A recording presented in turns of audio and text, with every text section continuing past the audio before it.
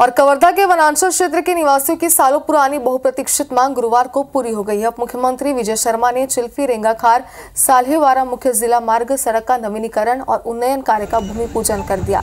इसके निर्माण से पर्यटन को भी बढ़ावा मिलेगा और लोगों को रोज़गार मिलेगा।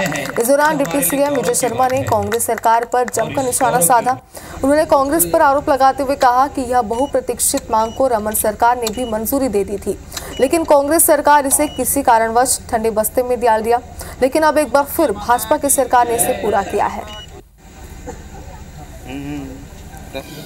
ये सड़क बहुत आवश्यक था, यहाँ हमारे एक्सीडेंट हुआ करते थे। अभी दस करोड़ का ये काम भूमि पूजन करके आज प्रारंभ हुआ है। बहुत स्पष्टता के साथ कहा गया है कि सड़क की क्वालिटी पर पूरी चिंता की जानी चाहिए।